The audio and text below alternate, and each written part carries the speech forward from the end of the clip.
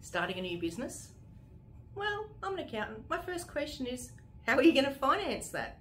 Now, there's very different ways of, of financing businesses, so I'm just going to run through a couple of the main ones. Now, I'm talking uh, starting a business from scratch here. I'll talk at the end about if you're actually buying a business, which is slightly different. But if you're starting a business from scratch, how are you going to finance it? One, you can put your own money in. Two, you can hit up mum and dad and see if they've got some cash they want to put in. Three, you can hit up friends and family.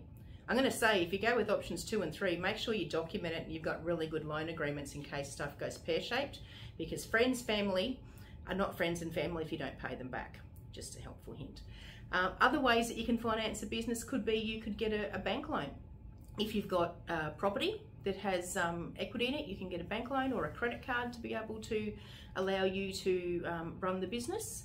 The other things thinking about where you've got um, equipment that you're buying, there can be equipment finance for, for purchases of machinery or vehicles or tools.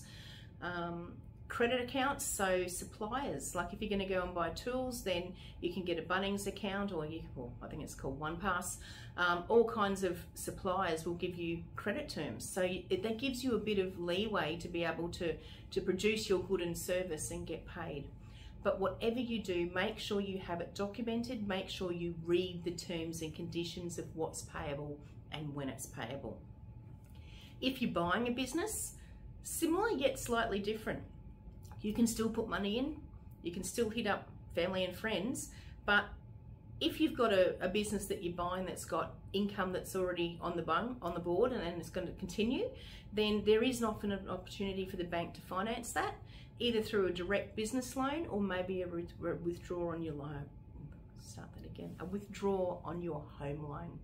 So have a chat to us. We work with some of the best business brokers, the best um, mortgage brokers in the country.